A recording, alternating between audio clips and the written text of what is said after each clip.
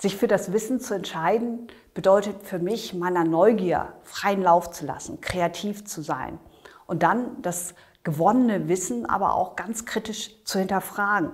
Denn nur wenn es solide abgesichert ist, können wir auch einen nachhaltigen Fortschritt erzielen.